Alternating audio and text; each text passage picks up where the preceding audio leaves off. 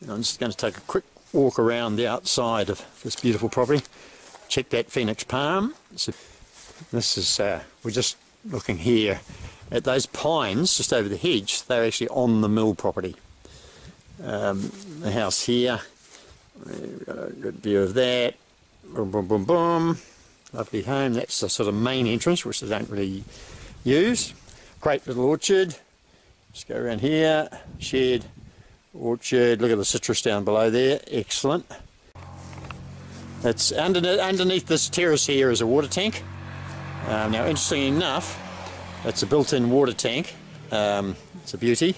And this big pipe hose here um, is is the hose which goes down to another storage tank for the mill but all the water goes as you can see from the downpipe from the roof straight into the tank alright there's a shed for the um, storage.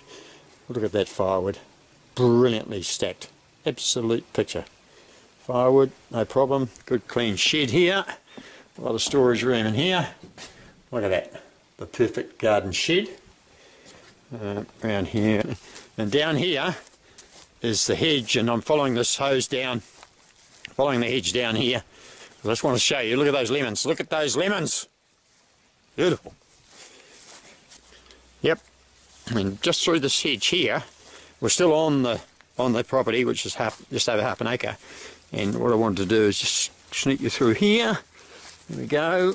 And here which is still part of the section is the water tank which feeds the mill